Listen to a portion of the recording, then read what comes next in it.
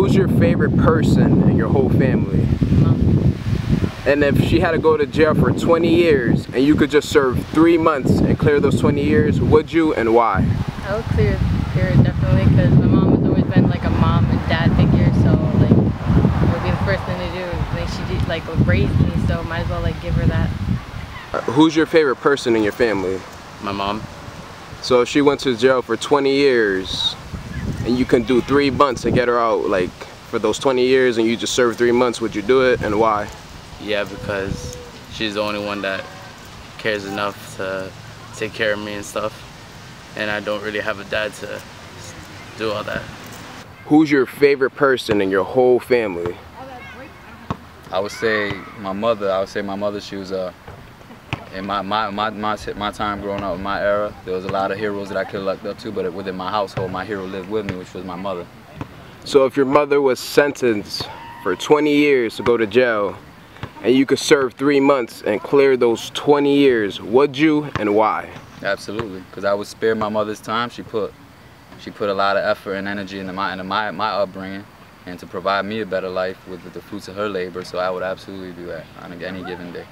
Who's your favorite person in your whole family? My father. If your father had to serve 20 years and you could just serve three months and clear those 20 years, would you and why? I would.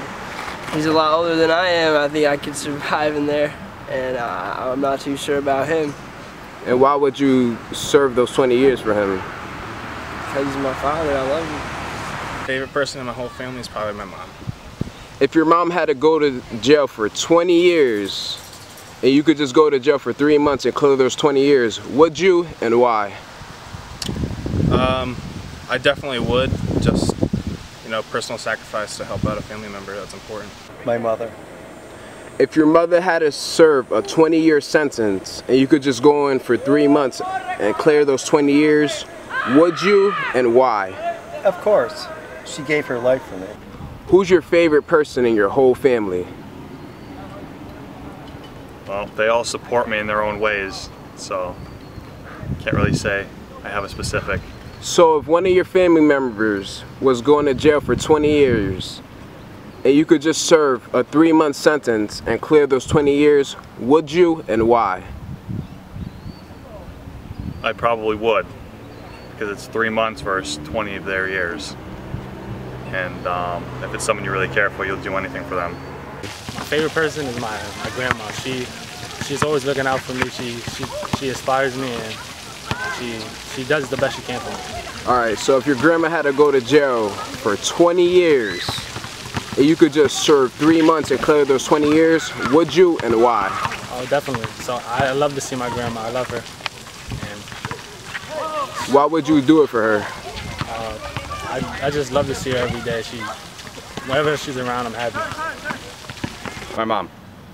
All right, if your mom had to serve a 20 year life sentence and you could get her out of that 20 year life sentence by serving three months, would you and why? Yeah, she's my favorite person. I love her to death, man. Who's your favorite person in this whole world?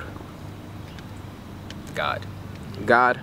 And if God went to jail for 20 year life sentence and you could save him by just going serving three months, would you and why?